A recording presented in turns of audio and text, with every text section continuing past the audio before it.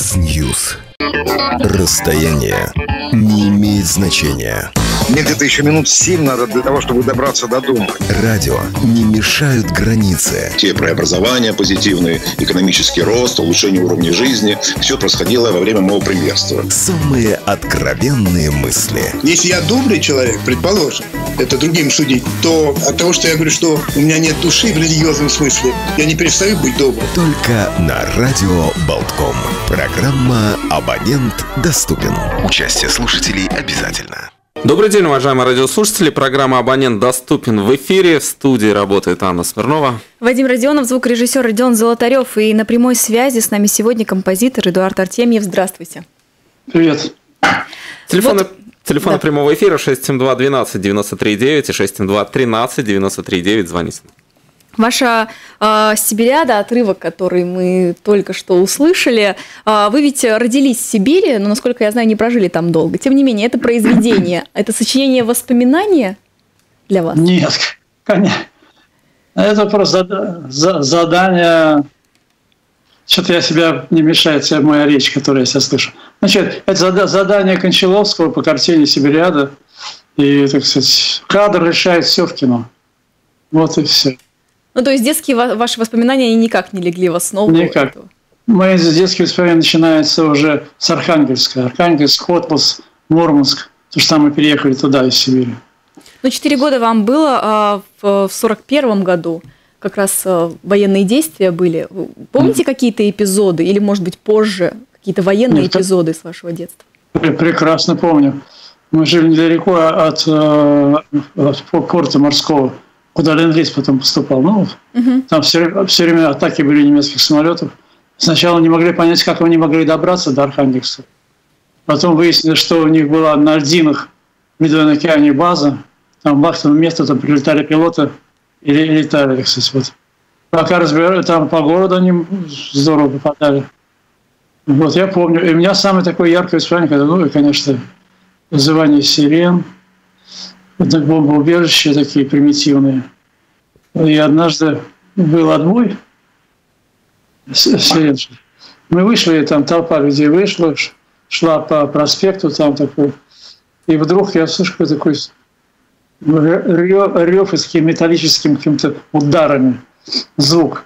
И что-то народ заорал, смотри, прямо над нами, над головами, на высоте двухэтажного дома пролетело, вот это, видимо, это мастершми так вспоминаю. Я видел силу- силуэт летчика. Но все думают, сейчас он всех положит. Нет, он нам пролетел, покачал крыльями. Вот это было потом... А, а с- отец, я думаю, что же это значит вообще, что такое, да, вот такая история. Но какие тогда были чувства? Можете вспомнить эти ощущения Да виденного нет, ну, происходящего? ну, Там еще ну, по, по утрам трупы убирали, это я тоже помню. Ну, выходил гулять, там лежат от голода умершие, замерзшие. Ну, все это ужасно. Мы потом, когда немцы стали сильно бомбить Архангельск, отец нас отправил сначала в такой го- город Сольвычегодск, он сейчас существует. Затем мы поехали в Котлас, а потом сейчас пошли слухи, что э, сейчас немцы добираются и до Котласа, там какой-то перевалочный пункт. Ну, уехали в деревню сам на берегу Белого моря, там его Поморже, Поморже жили. Почти, почти год. Тоже для меня это ярко. Во-первых, они, их, они русские, но речь их мало похожа на русский. Натуральные. Сто- Столько местных слов, что я, значит, просто ничего не понимаю. Это я запомнил такое. Очень дружелюбные люди. Насколько э, вот эти пережитые события в жизни важны для композитора? Вот этот опыт, жизненный опыт, э, потом он отражает и находится отражение в творчестве, в работе, в понимании музыки в том числе? Ну, я не знаю. Я думаю, что... То есть я наверняка, ну как, все без, бесследно, ничего же не происходит. Но напрямую я этого не чувствую никак. Могу сказать? что Да, вот это повлияло. Как бы это разное. Вообще, сочинительство – это же, это же новая реальность. И она мало, мало сопрягается с, с, сейчас на первый взгляд с действительностью.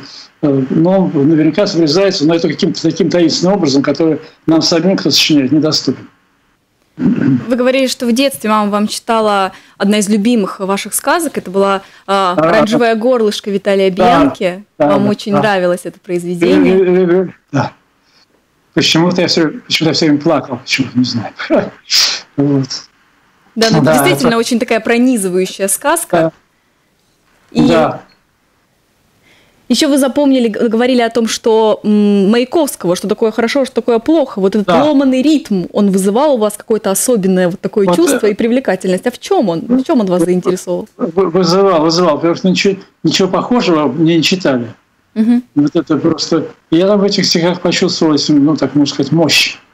Мощь личности. Вообще, для... чем дальше, так сказать, уже отхожу, так сказать, от того времени, я считаю, Маяковский крупнейший поэт России. Ну, больше, выше нет никого. Ну, вы для себя поняли, что такое хорошо, а что такое плохо? Вряд ли. То есть стихами Маяковского это не объяснить все-таки, все не настолько черно-белое. Нет, конечно, нет.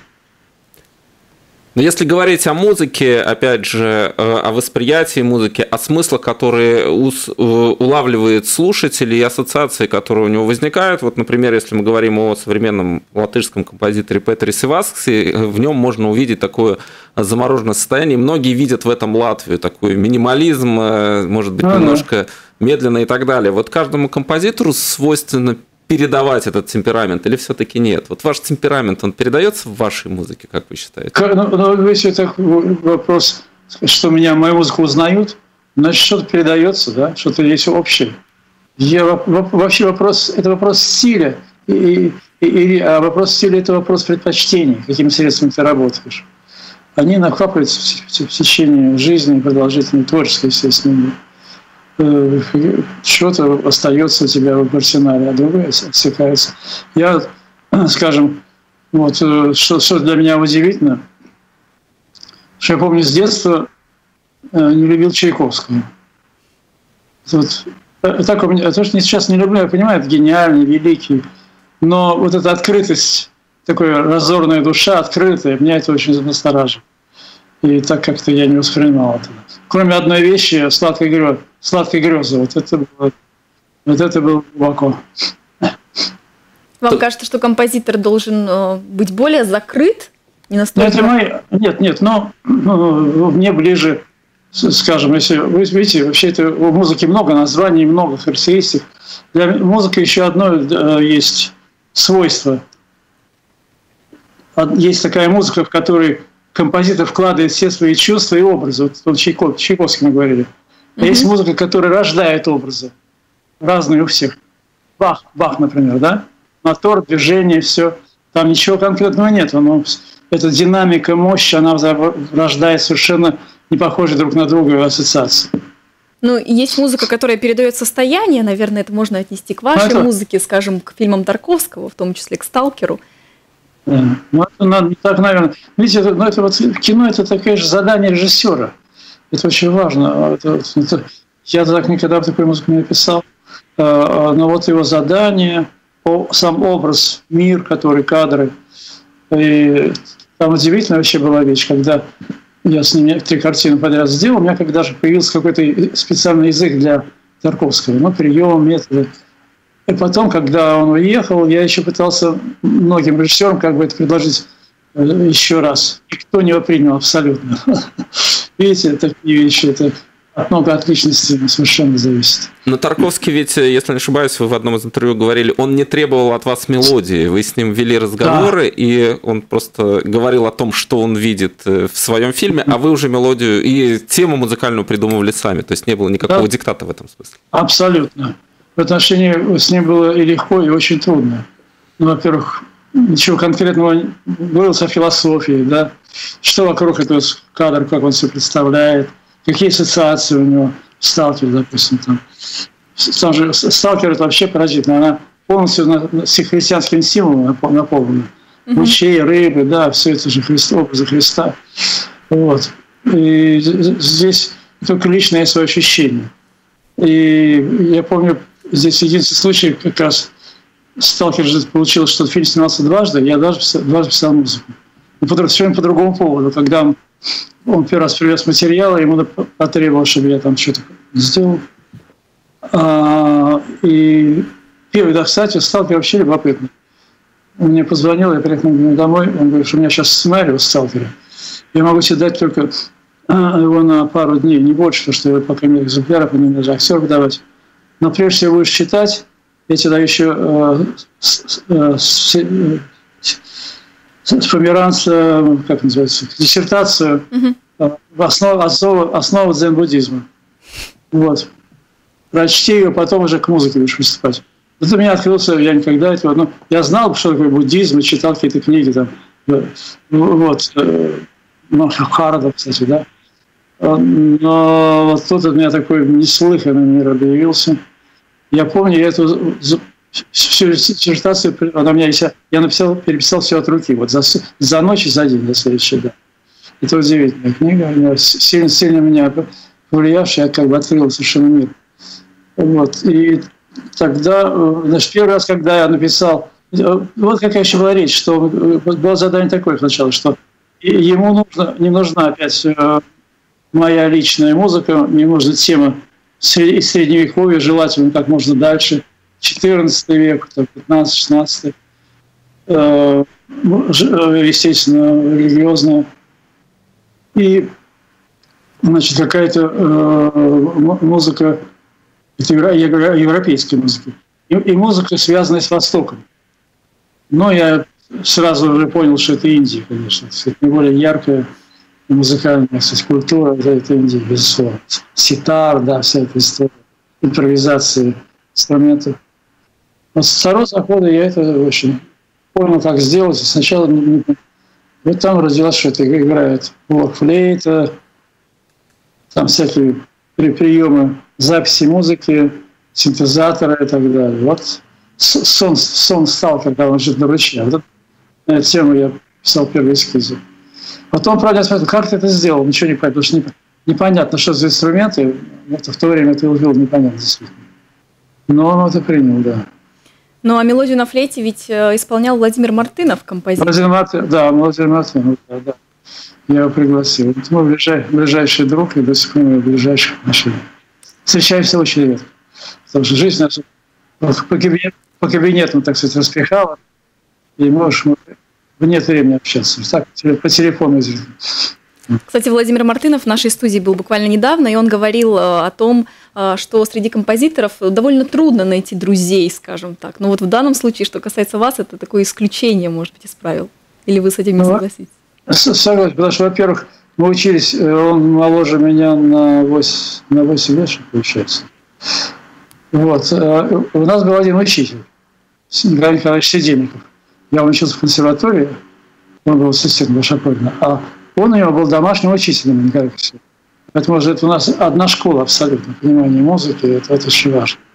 Я помню, как меня Коля, так сказать, Коля, так как Коля, ну, такая, что был в то время аспирантом еще. Он говорит, что я, я мне дали, так сказать, воспитание мальчика удивительного, совершенно гениального. Это вот Владимир Мартынов. Я когда его увидел, я понял, что да, абсолютно ничего не надо было а гений такой, да. То есть вы его учили? Нет, я его ничего не учил, наоборот, я с ним общался. А. Вот.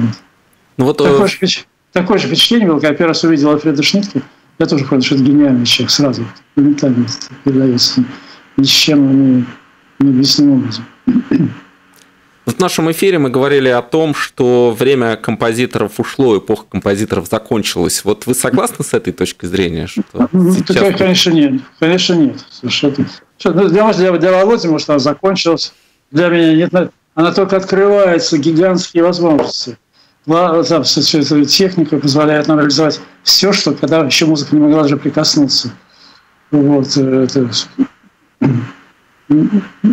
во-первых, сочинение пространства. Такого никогда не было вообще, еще никто еще не знает. Ну, то есть приборы, когда можем эмулировать да, залы, не только залы, но и там природу, акустический мир природы. Это там, где может один звук гулять, там, не знаю, часами, и ты будешь заворожен, как, как это типа минимализма, да, но совершенно по другому решению. Нет, слушай, это его... Я с ним на эту разговаривал. Э, он не совсем, говорит, меня сегодня не совсем поняли. Время композитора в этом плане он э, э, трактует, что современный композитор не может записать на ноты, вот тот нотный запись, который сейчас работает, все, что мы сейчас хотим реализовать. Ну, рок-музыки, например, как? Там такое количество тембров, способов игры. Это только на слух и договариваться с, с, с гитаристом, с певцом, с органистом, как играть, чего. Это на все на, на ощупь, на слух. Вот так, так оставь все. Записать невозможно. Вот, вот в этом смысле время композиторов действительно прямого, так сказать, влияния исполнения – ну, сильно уменьшилось. Но другие э, возможности есть. Можно э, программу можно записывать в память. В общем, для меня это вопрос совершенно... Э, сказать, то есть никакого вопроса в этом нет. Есть оно, есть и будет, еще раз ждет. Я жду э, мистерии. Мистерии будет новый скачок. Потому что вот сейчас все готово для мистерии. Технически, технически. Осталось только построить такой зал и, и площадку, где это возможно исполнять. Голография движешь, да, это, управление, управление звуковыми волнами не через динамики, а сам, само, само, само пространство будет, может играть. Там совершенно не, возде, степень воздействия такая, что даже становится как страшновато. Потому что это уже не, воздействие не только музыкальное, но какое-то психологическое, психологическое. Да? И, и уже можно управлять человеком. Вот это очень вопрос серьезный. Вот как это Мистерия в вашем творчестве, в вашем сочинительстве, если говорить о Оде Доброму Вестнику, можно ли назвать ее мистерией, когда она звучала на закрытии Олимпийских игр в 80-м году? Ну, нет, конечно, нельзя, нельзя. Но просто э, была возможность впервые реализовать, как я понимаю, как, как я понимаю, должна звучать, какая должна быть музыка и как она должна звучать, что за инструменты. Я всегда за то, что синтез оркестра, электроники и рок э, обязательно рока. Это самое важное для меня. Сейчас, кстати говоря, это же значит, э, такой секрет, который я могу уже раскрыть. Дело в том, что ну, вот, вот эту Барвехнику, там три части, угу. взяты, взяты из моего реквиема, который я тогда писал, и решил попробовать, так сказать. Ну, переписали слова. Это Дейзера, э, э, лакримоза и тубомиру. Вот. Значит, ну, потом я, э, я для, для контакта я их переделал, а потом вот, год назад была премьера здесь в Питере, в Москве. Я вернул то, что я когда-то написал. Вот такая история. Вот. вот это участие всего пространства, ведь весь стадион, по сути, был участником этого произведения, был причастным к этому произведению. Ну, да. Насколько эта объемность, она тоже важна для композитора? Вы знаете, дело в том, что мы несколько потеряли задуманное. Потому что мы, я решил сделать, вернее, предложил сделать что это как в Древней Греции.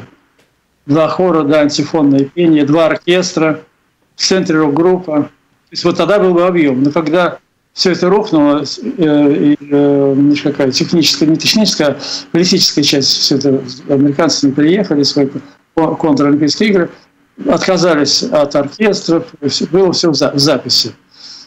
Это, это я, к сожалению, так и не услышал. До реальности то, что я написал, не дошло. Но, в всяком случае, объем э, этого стадиона там, да, играл. У нас звонок, радиослушатель на линии. Так, сорвался на звонок 672 93 9 и 672 13 93 9. Здравствуйте, как вас зовут? Да, здравствуйте, слушаем вас. Да, здравствуйте, слушаем вас. Да, здравствуйте. Добрый день. Алло. Да, слушаем вас, говорите, пожалуйста. Э, во-первых, я хотел бы передать большой-большой привет от Игоря Леня, который в Лос-Анджелесе. Он да -да. ученик и вспоминает всегда с огромной теплотой, с радостью. Э, тем более, что вы очень-очень помогли ему и при записи его диска под названием «Здесь» винилового. Да. Во многом другом, его работе над фильмом «Возвращение Хаджина Средина». В общем, он много-много рассказывал о вас. Mm. Я, я сегодня, когда вспоминал, думаю, если меня спросят, кого я помню, Игорь Лень особенно вспоминаю. Вот, и главное, э, да, он уехал, когда в Лос-Анджелес, я с ним связь всякую потерял. Я, я, ну, мы разъехались, я там жил тоже три года. А, ну, а потом, значит, я однажды приобрел синтезатор Roland 5800. 50 800. И стал слушать демо, какие там есть. И вдруг смотрю, Игорь Лень одно представил, да, так что привет от меня. Спасибо, я помню очень с, с Игорем самые теплейшие отношения. Дай Бог здоровья. Если можно, э, расскажите, пожалуйста, о вашей работе на АНС, на синтезаторе. Это ведь уникальная штука была, такой в мире не было. Вы знаете, вы можете найти эту... Э, он сделал эмуляцию этого синтезатора для IBM машин, для, для э, не Mac, а да, вот, Windows. Ну, наберите ANS, и вы увидите полностью его картинку, можете управлять, нажимать кнопки. Она еще не полностью воспроизводит все возможности, но очень многие. Там человек это делает уже несколько лет, и уже, кстати, он очень известен. Еще звонок у нас. Здравствуйте, как вас зовут? Александр. Да, Александр. Э, знаете, у меня такой вопрос.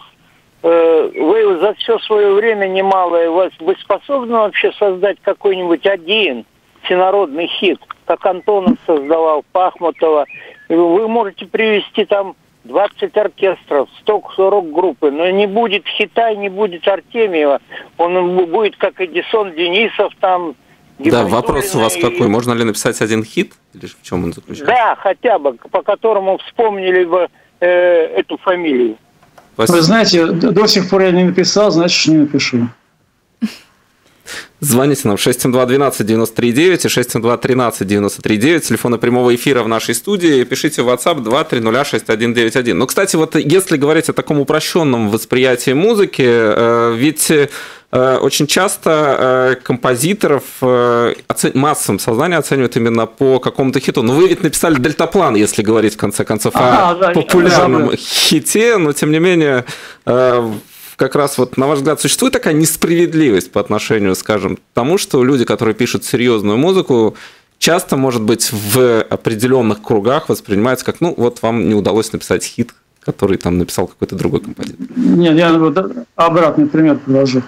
Э, Геи Кончели, вот, вот один из последних фильмов, где вертолеты, там вот самое, где Кикабидзе играет летчика. Мимино. Там же он песенку написал потрясающую совершенно. Он никогда песню не писал, она стала хитом абсолютно. И он запрещал говорить, что он написал это. Он страшно этого стеснялся. То есть как бы это, это поперек его, так сказать, вообще творческого креда и представления музыки. Было написано по заданию. Да. А его, а его как народ говорит, автор, ну, были концерты, э, э, э, авторские концерты были в больших залах серьезных. Его писали как автора из, из, из Мимино, знаменитая мелодия. Такие вещи. Так что кому, ну, кому, кому-то это нравится, что тебя узнавали, кому-то нет. Ну, такой частный случай. Но вы написали ведь э, в том числе и музыкальную тему к фильму «Свой среди чужих, чужой среди своих», которая абсолютно да. узнаваема. То есть э, это произведение, которое считывается с первых нот буквально. А ну, ведь она... Да, извините. Да, вот об этом произведении. Какое оно, кстати, у вас, ну, насколько оно важно для вас Иметь... Ну, во-первых, а, оно стало известно только в 2000-х годах. Оно написано там, в 68 60 году. Так что она лежала абсолютно никому не нужная. Если бы не телефонные вот эти истории, когда стали заказывать себе мелодии на телефон многие, ну, это сделало случай. Да? Вдруг она обрела второе рождение. Могла не обрести. Ну, да, замечательно. Я рад, что так получилось. Ну, говоря о рождении, вы в одном из интервью э, рассказывали о том, что, по вашему мнению, музыка звучит у каждого из нас в голове, но вот композитор, он может как раз вытащить эту ниточку или интонацию, схватить ее и дальше так нанизывать, как бусинки, и создать, сочинить целое э, большое произведение. А это происходит все-таки спонтанно, вот захват этой ниточки или интонации, или это такой трудоемкий процесс? Нет, ну, в общем, спонтанно. Я говорю так, что ну, бредешь по улице, да, все время, это у каждого какие-то мысли, да, звуки, это каждый человек как устроен. Я, у меня это спонтанно. Вдруг я понимаю, вот это вот надо будет запомнить. Вот там не, не, несколько пневматических приемов есть, которые запоминаю. Сейчас я, извините,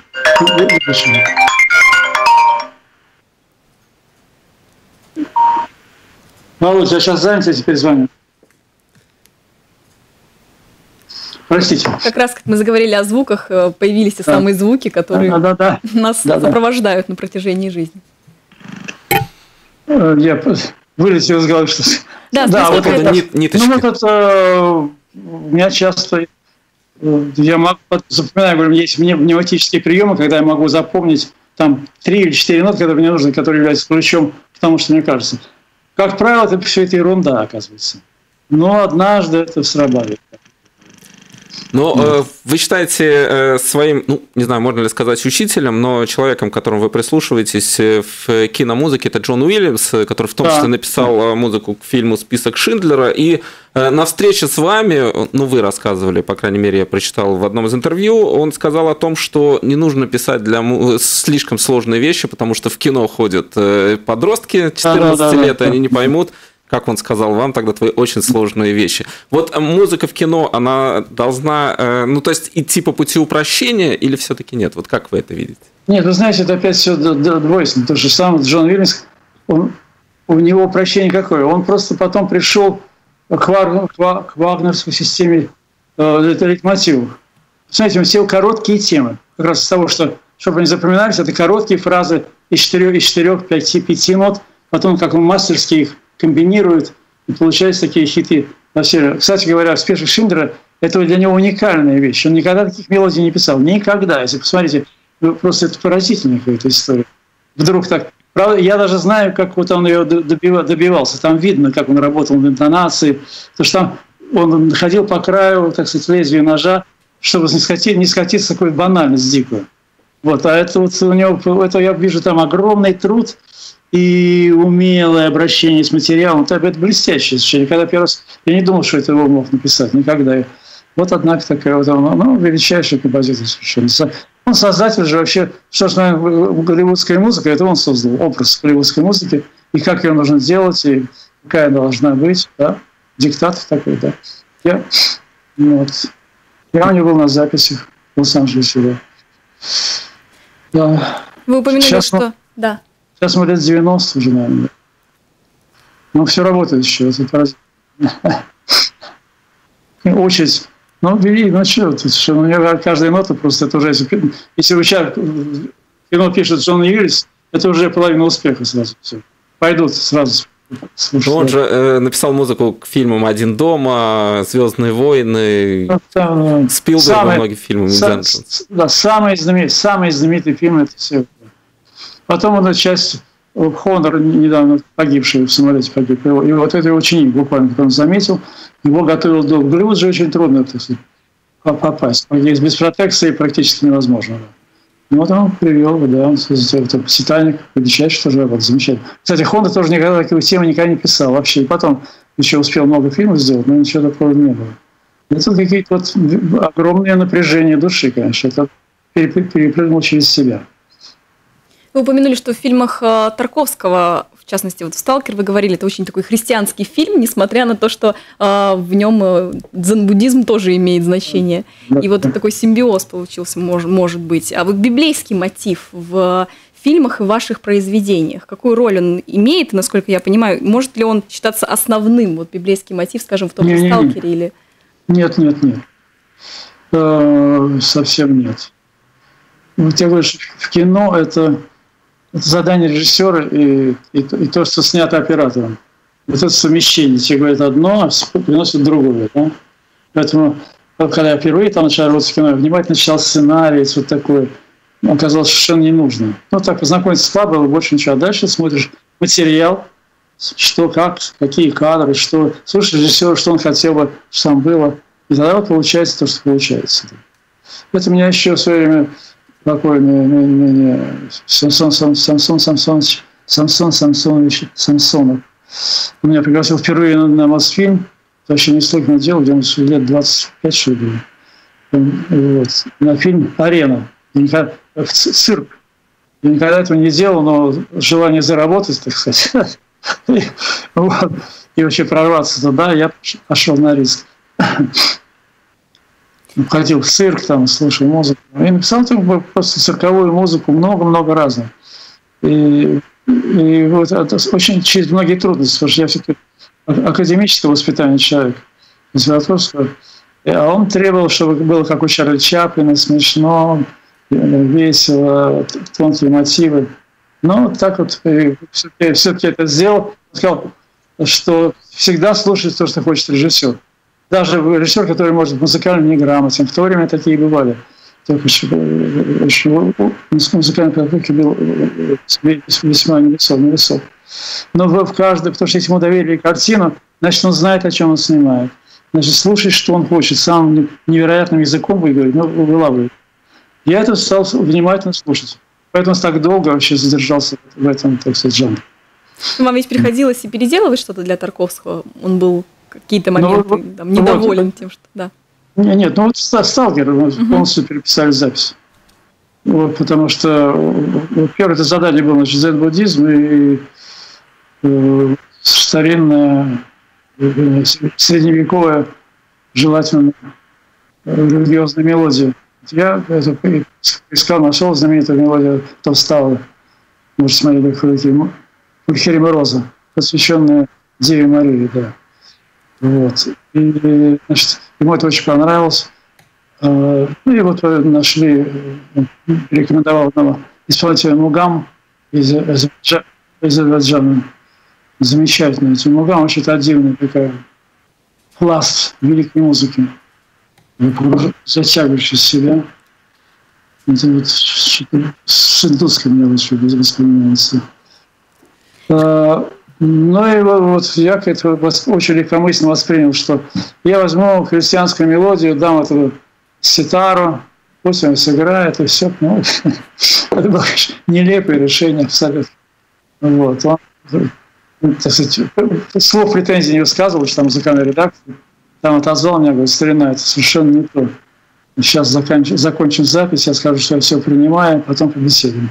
Ну вот и так мы постепенно вот, когда мы поговорили, я говорю, я не знаю, как, как, это сделать. Скажи хоть, что ты хочешь. Я тебе для этого предложил, что, пригласил, чтобы мне, ты мне предложил, а не я тебе предложил. Размышляю, да. Ну вот я постепенно пришел к ситару, уже такому индусским, индусским импровизациям, импровизация на блок-флейте, Пульхереве, это по-моему роза мелодия, но свободная импровизация Володя Мартынова, да, вот так. Там антураж э, пространства, ну, такая. Я, кстати, вот эту работу для себя отмечаю. отмечаю. Там, там получился не только образ, а какая-то вот такая, такая иная жизнь. Вот так. Но если говорить о культовых фильмах Тарковского, которым вы писали музыку, а, «Солярис», «Сталкер», наверное, «Зеркало», возможно, какой из них а, произвел на вас большее впечатление? «Солярис», «Солярис», «Солярис». Понимаете, я вот это остро переживаю ощущение Криса. Угу. Просто прям становится порой страшно. Возвращение супруги из небытия.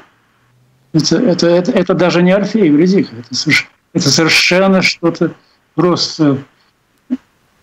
Разум отказывается это верить. Вот и это может быть. Кстати говоря, может быть, реально когда-нибудь случится такие вещи.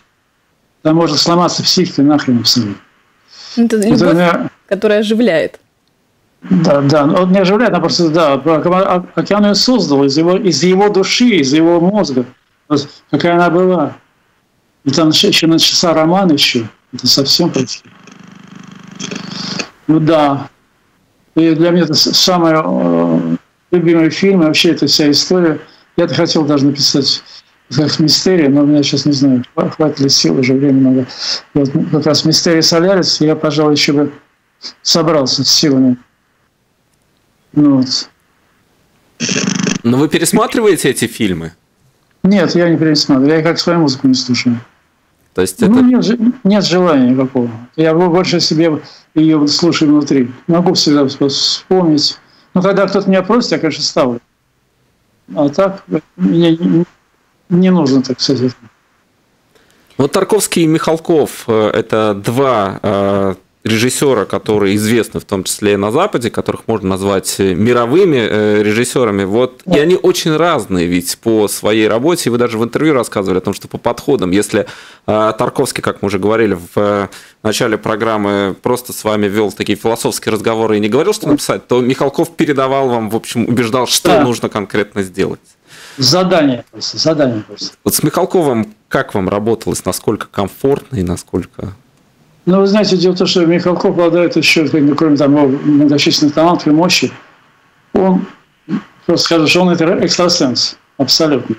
Он может в себя все, что он говорит и думает, просто вложить. не был бы я, другой бы точно нужно написал другой, но тоже было бы удачно. Понимаете? Вот так. Это не, а как, как актер у него играет, как ни у кого. Те же самые актеры. Это просто чудо. Я видел, как он репетирует, как он со мной разговаривает. Это такой, такой идет накач вообще. Причем незаметно.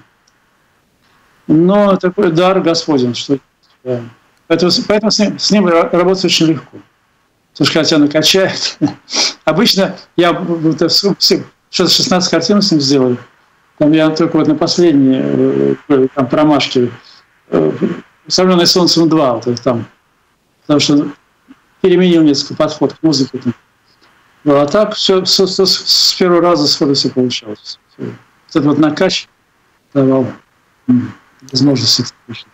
Михалков ведь писал вам из армии, чтобы вы не отдавали никому. Да, да, да. да. Но вас да, повлияло это, это письмо тогда? Нет, конечно. Чтобы я действительно, чтобы, не, чтобы я действительно мало что, в, ну, в армии еще у него на три года же, он военным моряком ушел, там три года надо служить, два с половиной там, отпустили на фильм, потому что фильм надо было снимать, его, в общем, Мосфильм добился, что его на полгода раньше отпустили. Вот. А, значит, дело, дело в том, что это сочинение музыки этой песни замечательно. Он уже все уже знали, что он поедет на Камчатку. Э, и последний день мы встречались в Доме кино в ресторане. Так слегка выпивали. И, значит, опять об этой теме. Какая должна быть тема, тема, тема. Ну, с этим мы расстались. Я ушел домой, слегка под шапе.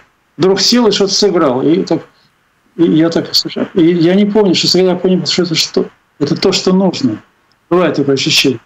И тогда я вспомнил прием, который пианисты знают. Мышечная, пальцы, мышечная память пальцев меня вывела на то, что я сыграл. Так поставил руки и постепенно нащупался. То есть я вернул их, да. Вот такая история.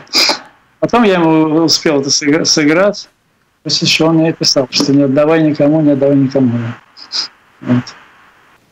Ну, «Раба любви», тема из э, «Раба любви», ведь в одном из интервью вы сказали, это одна из самых важных для вас э, музыкальных э, произведений, одно из самых важных музыкальных произведений. Наверное, я туда, потому что это не, неожиданно, кстати. Там тоже удивительно, одно слово Михалкова. Все, какая должна быть тема, это, ну, естественно, так сказать, конец Серебряного века, да, последняя Одесса – это последний такой оплот свободной жизни, ну, что называется, первое время чумы. Вот. И актриса Вера Холодная. И он одну фразу сказал, что он говорит, мне нужно, чтобы все было какая-то изломная, изломная. Эта фраза мне все, вот я написал там, там.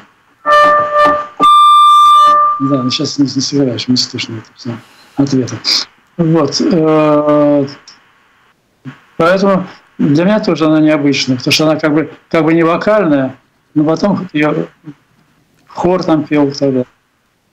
Ну, ваша музыка, она подсказывает э, зрителю то, какую эмоцию нужно испытывать в тот или иной момент? Или же здесь все так индивидуально?